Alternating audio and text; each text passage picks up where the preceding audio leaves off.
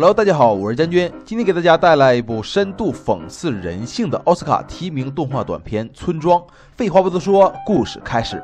故事一开头，一群蚂蚁在往洞口里搬运食物，有一只蚂蚁搬的食物特别大，堵住了洞口，其他蚂蚁便屁股顶屁股，脑袋顶屁股的撞到了一起，妨碍到了自己。其他蚂蚁便把这能干的蚂蚁扔出洞口，只是因为它的超常能力妨碍到了自己和超出了集体。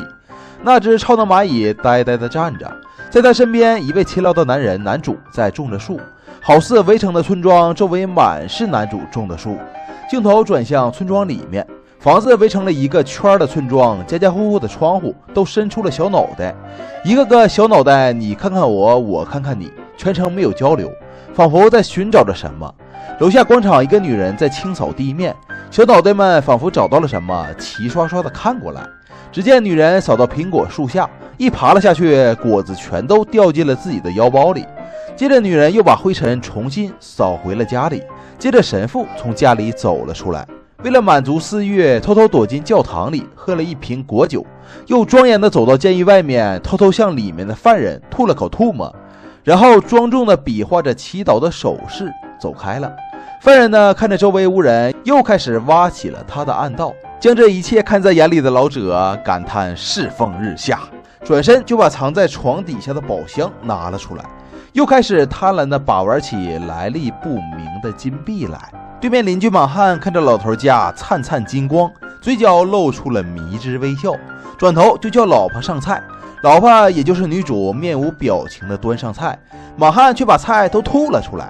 呸！这婆娘烧菜太难吃了。看来女主平时也是没少受这莽汉的折磨。最后，女主没理莽汉，面无表情的出门了。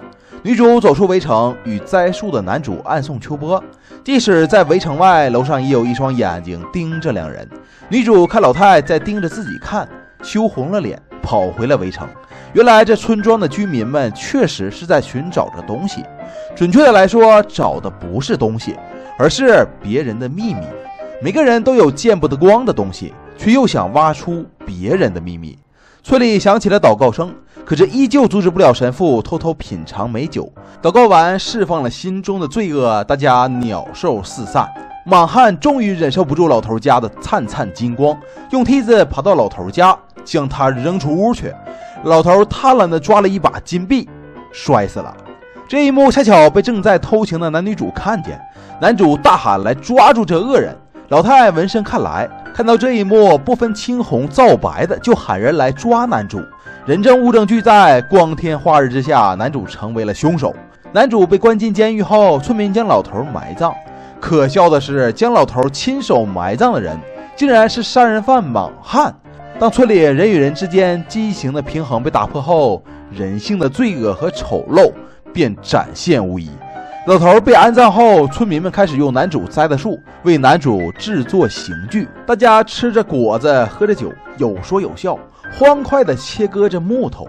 老头的死，不知谁还在乎，仿佛压抑了很久的村民迎来的是一场盛大的节日一般。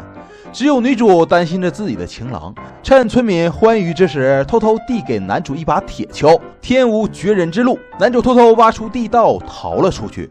可本有机会逃生的犯人觉得男主没来几天就逃走了，太不公平，扯着嗓子揭发了男主。村民们赶紧抓捕男主，好在机智的男主爬上房顶逃过一劫。晚上想要跑路的男主却被莽汉发现。被莽汉夺走眼镜的男主在房顶摇摇欲坠，多亏女主跑来骚扰莽汉一波，拖延了时间。男主一记重拳将莽汉锤下楼去，男女主也终于手拉着手逃出了围城。神奇的是，饥饿的蚂蚁随之将莽汉的尸体啃食殆尽。早上，村民看着一滩白骨旁的眼镜，以为是男主身亡，无聊的散开了。远处的男女主看着这人性扭曲的围城，好久。转身，奔向了自由。